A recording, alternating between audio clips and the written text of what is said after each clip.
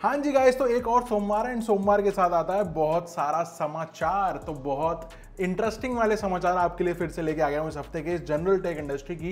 And आज की जो पहली अपडेट है, वो आती है यूट्यूब की तरफ़ से। एंड यूट्यूब ऐसा बोल रहा है कि भाई इंडिया में न्यूज़ को और ज़्यादा ट्रांसपेरेंट करने की नीड है। एंड यूट्यूब इसके ऊपर फोकस कर रहा है। यूट्यूब का कहना है कि भाई, काफ़ी सालों से हम ये लोग देख रहे हैं कि न्यूज़ के जो सोर्सेज है ना, वो बढ़ते चले जा रहे हैं। इंडिया के अंदर डेटा सस्ता हुआ, बहुत सारे लोग आ गए न्यूज़ को बताने। या फिर सोर्सेज इंक्रीज हो गए, जिसमें से हम भी एक हैं जो आपके लिए नए नए अपडेट्स लेके आते हैं। सो बेसिकली यूट्यूब क्या कह रहा है कि ऐसे सोर्सेज जो मल्टीपल जगहों से फैक्ट चेक्ड हैं, उनको सर्च में थोड़ा सा वो और ऊपर लेके आएँगे, उनको थोड़ा सा प्रमोट करेंगे अपनी तरफ़ से एंड जो फॉल्स इंफॉर्मेशन या फिर गलत चीज़ें फैलाते हैं, उनको नीचे लेके जाएँगे।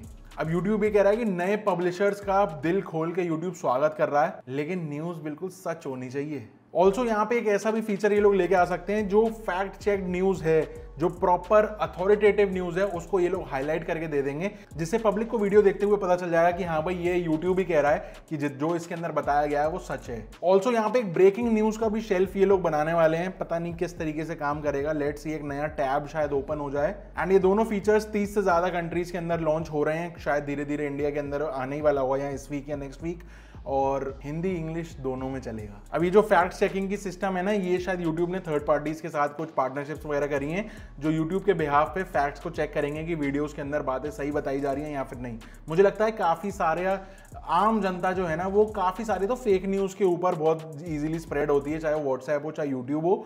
बट यहाँ पे अगर यूट्यूब अपनी तरफ़ से यहाँ पे कुछ इनपुट डाल रहा है तो मेरे हिसाब से काफ़ी हेल्पफुल हो सकता है सब लोगों के लिए आगे चल के। अगली अपडेट मेटा की तरफ़ से, आपको पता होगा चाइल्ड सेफ्टी को लेके ईयू यूरोपियन यूनियन बहुत ज़्यादा परेशान रहता है या फिर कंपनीज़ को टारगेट करता रहता है एंड दोबारा से एक बार फिर से मेटा के ऊपर इन्होंने एलिगेशन लगाए हैं कि चाइल्ड कंटेंट सेफ्टी का कुछ भी ध्यान ये लोग रख नहीं रहे हैं, चाहे व्हाट्सएप हो या फिर इंस्टाग्राम हो या फेसबुक हो। ये कंपनी जो है ना, ये मतलब इतनी बड़ी जाइंट हो चुकी है कि इनको पता है कि बच्चे का क्या बिहेवियर होता है, उनका क्यूरियस नेचर है, उनकी जो मासूमियत है, उसको एक्सप्लॉयड किया जाता है बेसिकली हुक वीडियोस दे करके, जो पता है उनको कि बच्चे को क्या हुक करके रखेगा उनके प्लेटफॉर्म पे काइंड kind ऑफ़ of एक अडिक्टिव प्रोग्राम बनाना चाहते हैं बच्चे के लिए कि वो बार बार बार बार पेरेंट्स से जिद करके इस फ़ोन के अंदर ये पर्टिकुलर ऐप को चलाए जिससे उनका रिटेंशन बढ़े। तो यूरोपियन यूनियन ने ना इन कंपनीज़ को पहले अपनी वार्निंग वगैरह दी थी कि भाई सुधर जाओ सुधर जाओ। अब फाइनली ऑफिशियल इन्वेस्टिगेशन स्टार्ट हो गई है कि ये लोग क्या क्या हरकतें बाजी कर रहे हैं, उसकी पूरी अब डिटेल में तहकीकात होगी। मुझे लगता है यूरोपियन यूनियन अब कुछ तहकीकात करेगा तो पंद्रह दिन के अंदर अंदर काफ़ी कुछ तगड़ी अपडेट आ सकती है। अगली अपडेट अल्फ़ाबेट की तरफ़ से है। अल्फ़ाबेट यानी गूगल की पेरेंट कंपनी एंड उन्होंने अपना एक नया एस्ट्रा एआई दिखाया।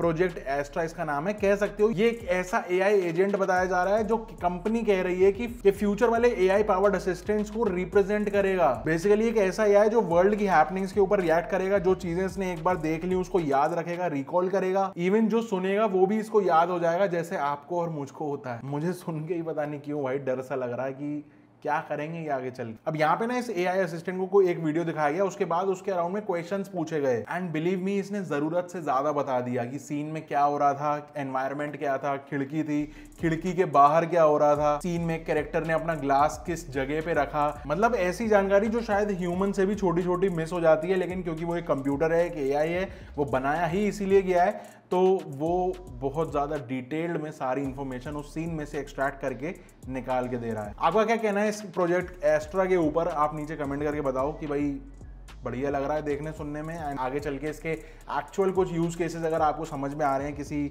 पर्टिकुलर कैटेगरी ऑफ़ ब्रांड्स के लिए तो वो भी आप नीचे कमेंट करके बताना। अगली अपडेट माइक्रोसॉफ्ट की तरफ़ से गवर्नमेंट ने ना एक वार्निंग लॉन्च कर दी है कि भाई माइक्रोसॉफ्ट के काफ़ी सारे प्रोडक्ट्स हैं, जैसे कि Windows Office Bing browser developer tools Microsoft Azure and Microsoft app store के कुछ एप्स में से।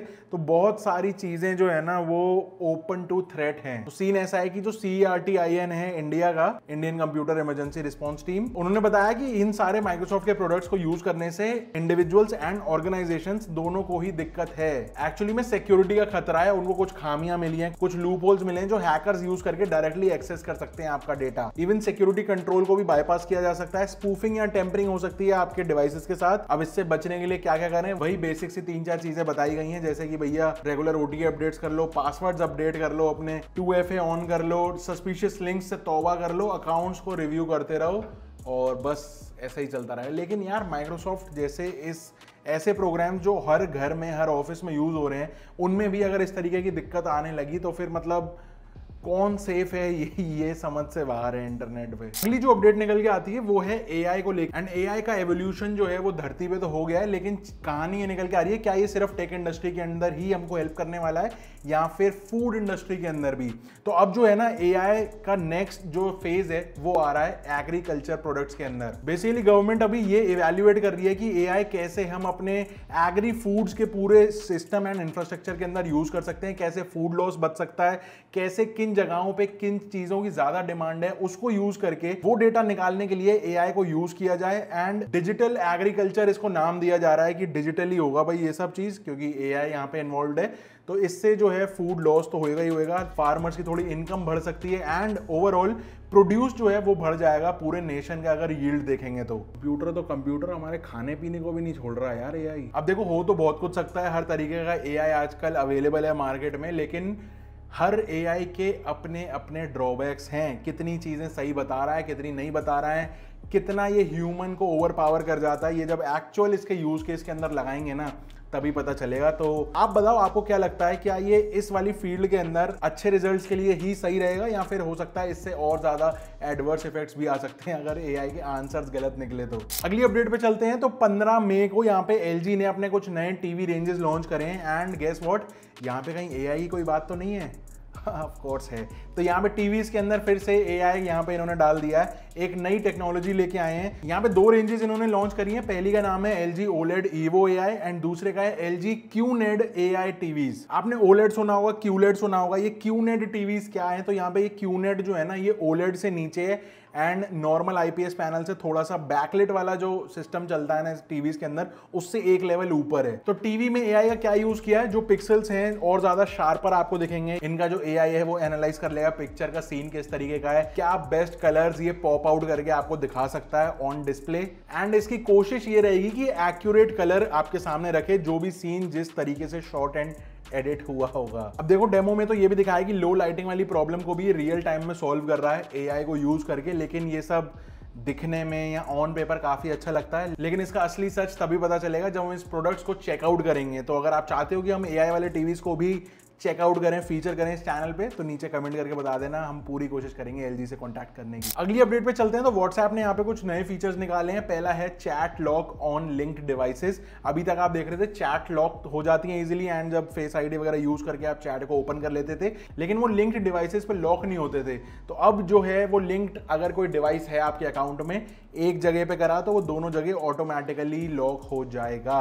नेक्स्ट बड़ी इंटरेस्टिंग सी चीज़ है, अभी तक आप व्हाट्सएप के स्टेटस लोगों को देखते थे तीस सेकंड का कोई मूवी का क्लिप लगा दिया या कोई वीडियो का क्लिप काट के लगा दिया तो वो एक्सटेंड करके अब 30 सेकंड की जगह पे 60 सेकंड का वीडियो देख के आपका मूड खराब करेंगे। वैसे 60 सेकंड से याद आया, हमने रील और शॉर्ट्स पे डेली अपलोड करने स्टार्ट कर दिए हैं, एक बार चेकआउट कर लेना, मज़ा आ रहा है, नहीं आ रहा है? आज की जो फाइनल अपडेट है, वो आती है स्नैपचैट इंडिया की तरफ़ से एंड भाई इनकी ग्रोथ को लेके ये काफ़ी ज़्यादा खुश हैं। इंडिया में अकेले 200 मिलियन यूज़र्स हैं स्नैपचैट के ऊपर, जिसमें से आधे तो गाड़ी की स्टीयरिंग का ही स्नैप डालते रहते हैं। अब देखो वर्ल्ड का 20 परसेंट जो जेंजी है ना, वो अकेले इंडिया में है। एंड स्नैपचैट को इस बात का बड़ा मज़ा आ रहा है कि ये फुल बिज़नेस अपॉर्चुनिटी यहाँ पे निकाल पा रहे हैं। इन लोगों की वजह से। ये चीज़ इससे भी प्रूव होती है कि स्नैपचैट ने लास्ट चार महीने में अपनी जो वर्कफोर्स है, जो एम्प्लॉयज़ हैं, सिर्फ़ इंडिया ऑपरेशंस के, वो डबल कर लिए हैं। अभी जो स्नैपचैट के डायरेक्टर हैं, उनका कहना है कि स्नैपचैट के ऊपर एआर और वीआर के फंक्शनैलिटीज ये लोग लाएँगे, जिससे और ज़्यादा यूज़र्स